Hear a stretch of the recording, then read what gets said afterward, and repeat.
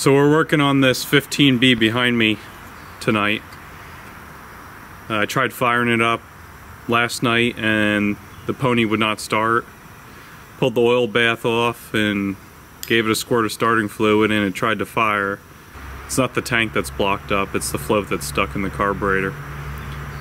So I'm going to pull the top of the carb off and free it up, clean it out, and see if we can get this tracked down and I want to throw a couple uh, clutch bands in it. So, previous video, I think I I went over. I put the two new swing clutches in it. These are your swing and travel clutches. These were new old stock linings I riveted onto the old bands. But I still have to do the hoist, retract, and crowd.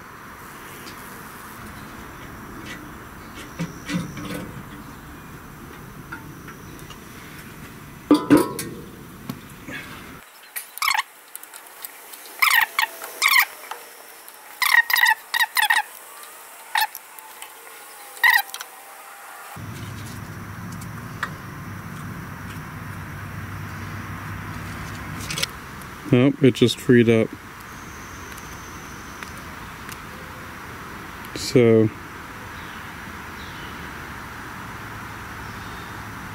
that needle was stuck. It wasn't coming out. Alright, so I got the top of the carburetor back together.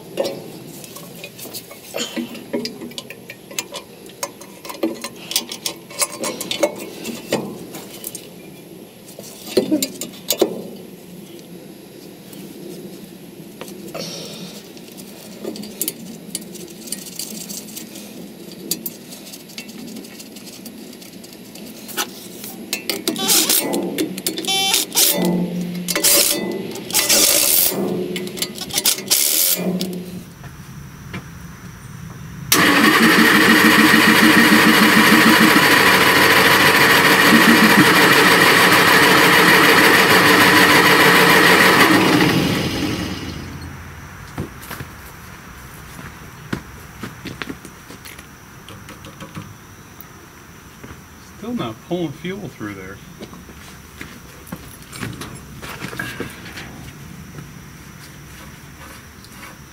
I feel like I need Gino for this.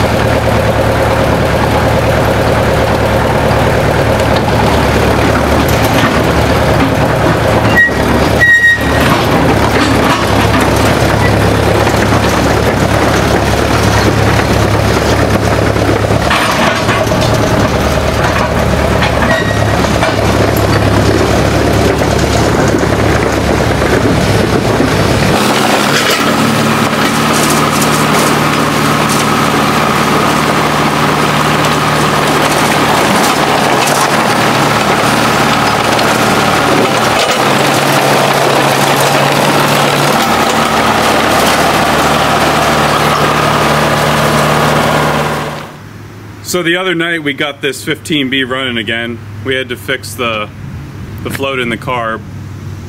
And I started taking this retract clutch out of it. I picked up some bands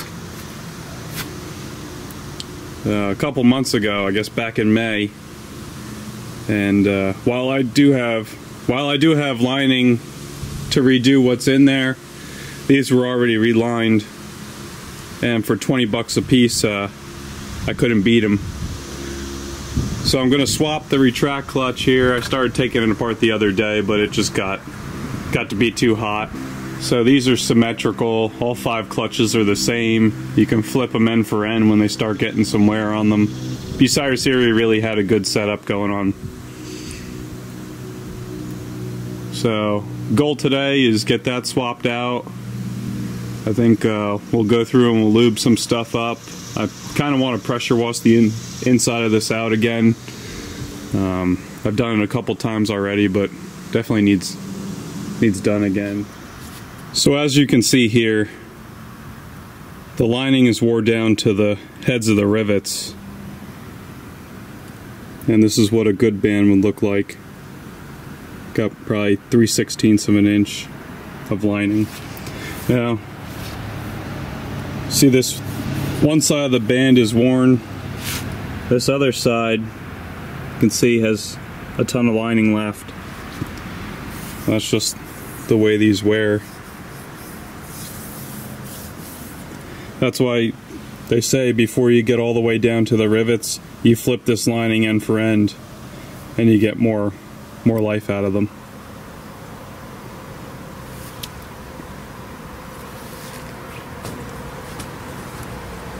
So I'm just cleaning up some of the adjusters and uh, getting ready to put the band back in. You got to grind down some wrenches to adjust these. There's not a whole lot of room in there. I made these extra short to get to the hoist clutch because there's really not a whole lot of room over there.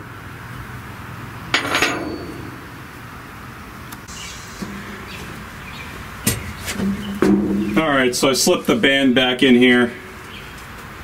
It's kind of a tight fit in this spot. I'm sure I could have removed some stuff and made it a little bit easier.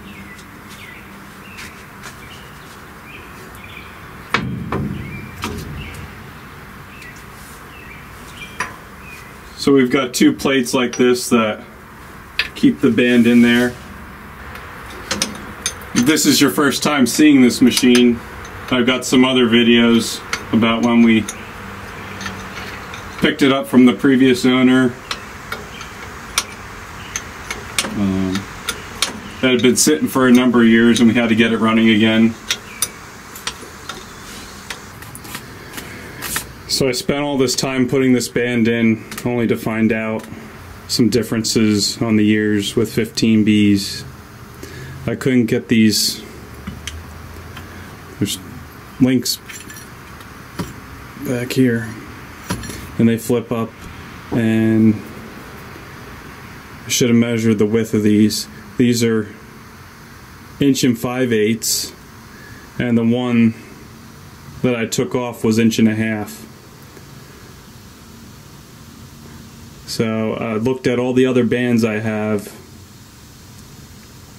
and I only have one other one that's inch and a half. So all those other bands are for a different series machine. I'm hoping it'll fit the 15B dragline. But wish I would have known that before I bought them. So I'm going to work on getting this band out of here and swapping in the other one. So after changing this band back out and getting this back together,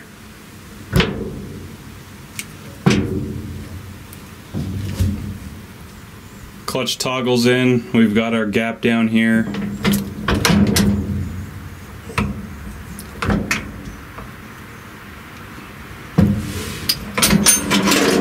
Could probably go a touch bit more on it.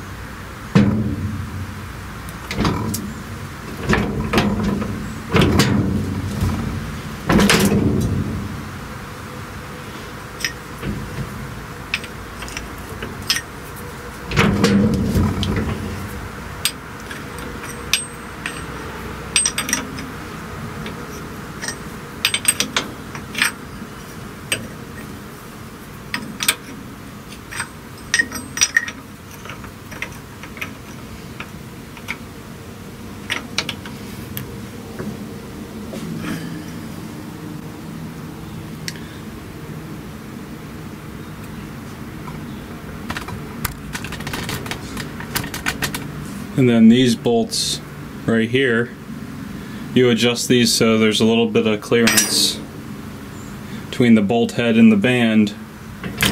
So when it's released, you have a gap between the drum and the clutch.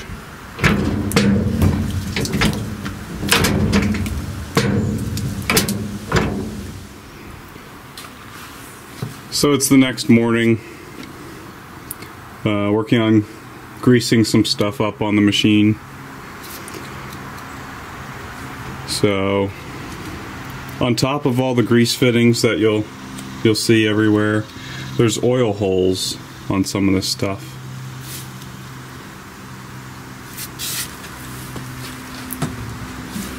Like up in here, there's an oil hole for the boom hoist ratchet. Couple more up in there.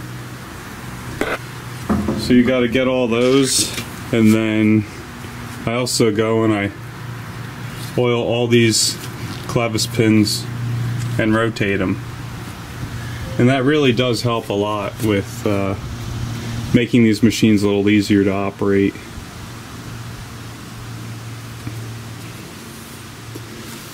And then, you know, lube everything up for your bucket trip. And down here on the, the latch,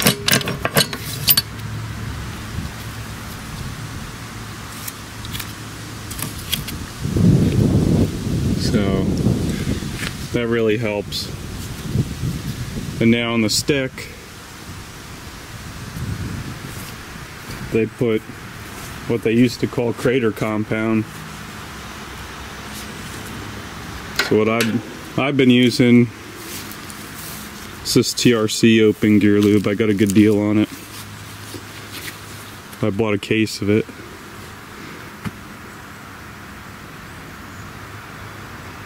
and you want to put that all the way up and down the stick.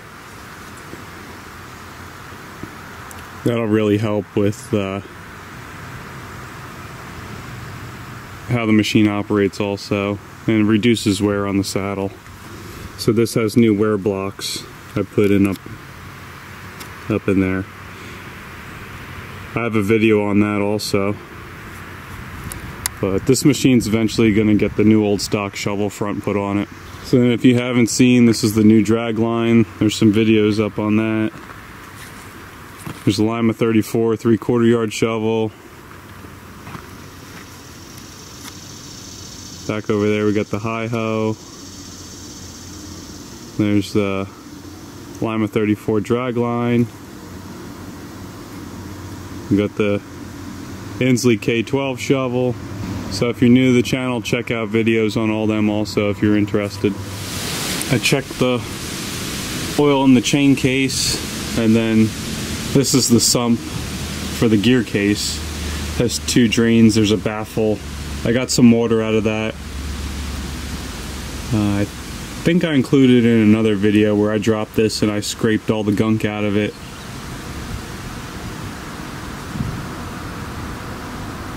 and uh, I'll include a couple pictures of the lubrication chart.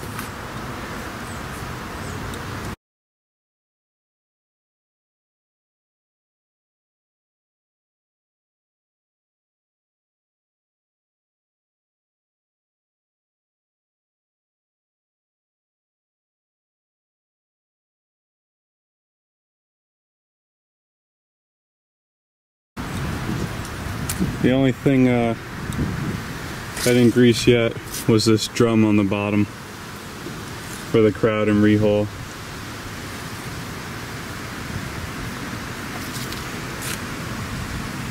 I always thought that was pretty cool.